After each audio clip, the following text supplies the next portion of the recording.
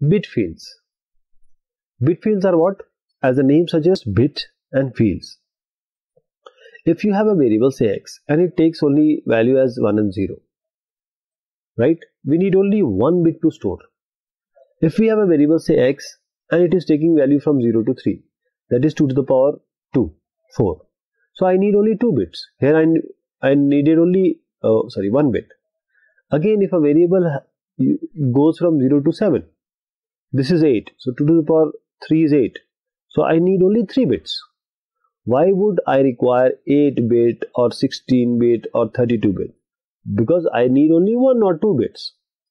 So we are actually wasting entire integer for that. Okay. Uh, but when we have uh, these kind of situation, there is a possibility where we can pack these uh, values in a single memory location. For that we use the bit fields. Okay. Uh, if you want to store several values in a single integer, we'll use the bit fields. How does it work? Uh, so I'll give you an example. Suppose uh, you wish to store the data like this. Each employee contains say male and female. So here we require only one bit. Single, married, divorced and widowed. So we require 4 that is only 2 bits are required. This is 2 square. So 4. This 2 uh, have one of the eight different hobbies so we have 2 to the power 3 so I require only 3 bits. Can choose from any of the 15 different schemes so just say 2 to the power 4 we have 4 bits here. 1 2 and 3 and 4 so these many bits are required. This means we need 1 bit to store gender 2 to store marital status 3 for hobby and 4 for the scheme. Okay so we need uh, 10 bits altogether. If you just uh, add them, we just need 10 bits. That means we can pack all this information into a single integer and this integer is 16 bit long. How to do this using bit fields? This is a structure.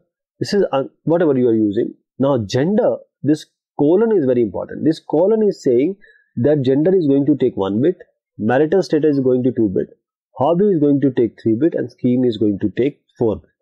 This colon in the declaration, it, it indicates the compiler that we are talking about the bit fields. This colon is that is why very important.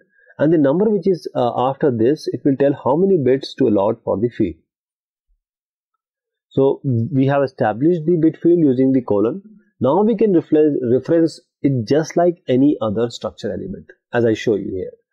Uh, these are some certain um, macros we have given 0, 1 for male, female, 0, 1, 2, 3, 4 for single, married, divorced and widow, uh, widowed. Now we have a structure here. Here this is a bit field and gender is going to use 1. This is unsigned. Then again marriage, marriage status to hobby 3 and scheme uh, 4. So we have made a variable here and now we can assign male, divorce 5 and 9 to the values and you can just print it.